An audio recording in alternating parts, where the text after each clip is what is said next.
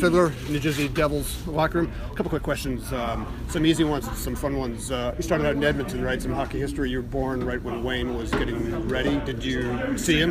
Your first NHL game, maybe? Did you see Wayne? Oh yeah, we uh, my dad used to take us to the games all the time. Uh, you know, obviously go down for warm-ups and watch you know skate around, and uh, you know it's still uh, those memories that you you'll remember forever, and uh, I'll never forget that as long as I live. Standing on the boards and watching those guys. Six or seven Hall of Famers at once. Yeah, exactly. And you knew it at the time, really, right? Yeah, of course. Uh, but no, it was it was special to grow up in Edmonton. And they got great tradition there, and they definitely won a lot of games. You see a practice ever, or just the games? I did. They used to practice at one of the malls. Uh, my mom and dad would take us there, and we'd go watch uh, skate around. They'd have no helmets on, and Right. I just thought that was the coolest thing in the world.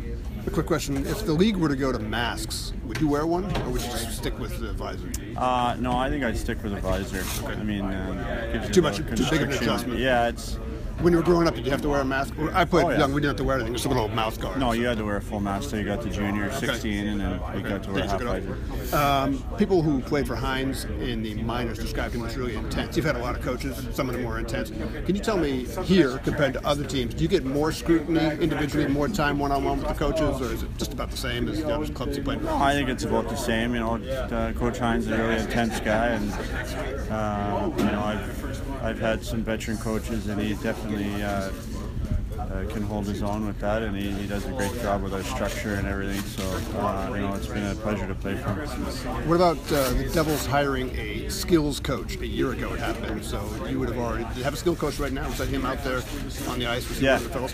What sort of stuff has he done with you personally? Just anything you wouldn't have expected, or just but Oh, they just work on, you know, moving the puck around and stick hammer and stuff like that. I think it's great to have him out there for the young kids, and uh, you know, there's not a whole bunch they can teach me, but it's nice to get out there and feel the puck with them every once in a while. Get plenty of extra repetition and some skill stuff like getting a shot off or Yeah. getting a puck off your stick. Exactly. Um, what about? Uh, I I spoke with one of your teammates while you were still on the team in Dallas, Cody Eakin, after a game in New York. He said yeah, he had a great game. He said you were walking through everybody you played against. Were they trying to make adjustments against you? And I remember what he said. He said, to be honest, I didn't notice who was playing against me.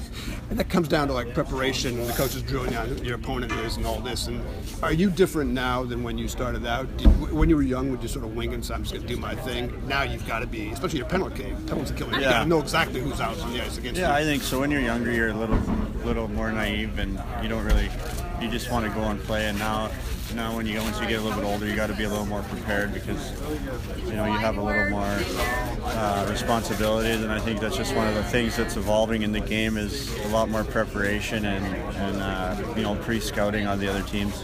When did you notice that change in yourself, if you did, like between minors and pros? Uh, It was probably about that? six or seven years ago. That so recently? About seven years into my career, you know, you, you started getting a lot more video and pre-scouting and uh, getting the other team's tendencies and stuff like that. So not too. So it's it's it hasn't been that whole, whole bunch longer. You went undrafted. Was that a surprise? Were there agents or scouts who were giving you a nod that they thought they were going to draft you? Can you take, take us back to that moment? Did you expect to Uh, be drafted or not really?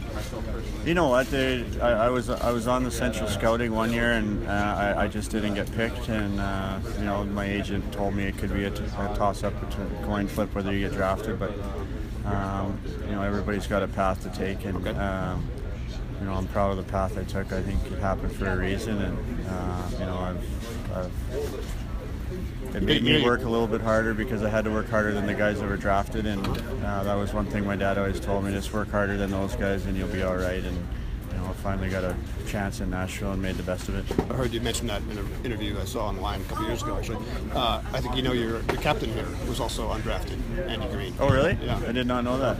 It's probably among the highest numbers of games played for any undrafted player in the history of the NHL. They may get that record at some point. Um, you may have a future role in hockey management. I don't want to take you ahead to the future because you're still playing, but there's something that happened with you in Dallas that would be really valuable to future management type of guy. You played on a team which took a real risk, and it's rele- relevant to New Jersey. They passed on big Russian prospect Nichushkin, who was 18 at the time. And you told Dallas, I want to play in the NHL, or I'm not going to play you were there. I'm sure you probably didn't talk to him too much. He didn't speak English much his first year, but he took a big risk, and maybe it didn't work out. You know, play a teenager, guy coming over from a foreign country. Are there lessons you would draw from that? I mean, if any. Everybody's individual. You can't really predict the way a guy's going to behave, but they spent a first round draft choice. New Jersey didn't. They got Cory Schneider. And Jersey fans, were, some of them were really upset. They figured, we need a forward, we need a scorer. They didn't take him. Dallas took him. Maybe it didn't work out.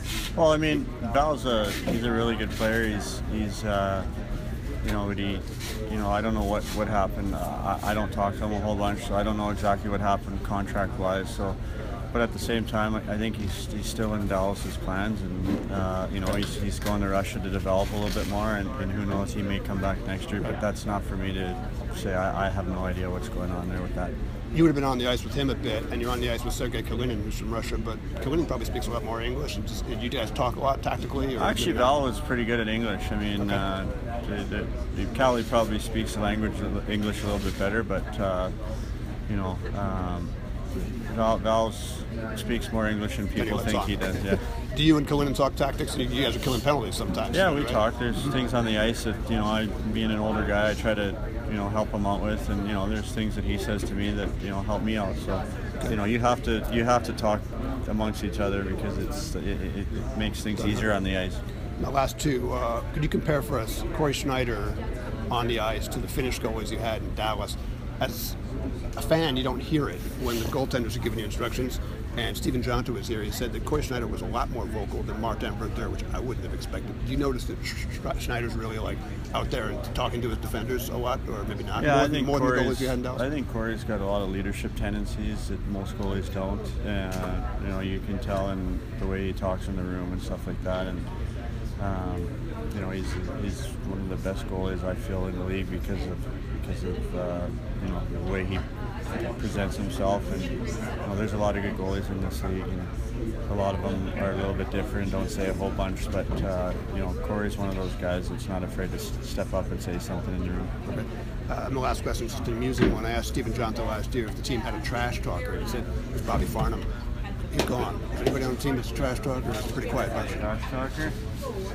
Not, not, not, not Mr. Wood over there. I don't know. That means no. I think it's know. the, I think it's Palmieri. He's the new trash talker. Uh, we'll leave it at there. Merry Christmas. Thank you. You too.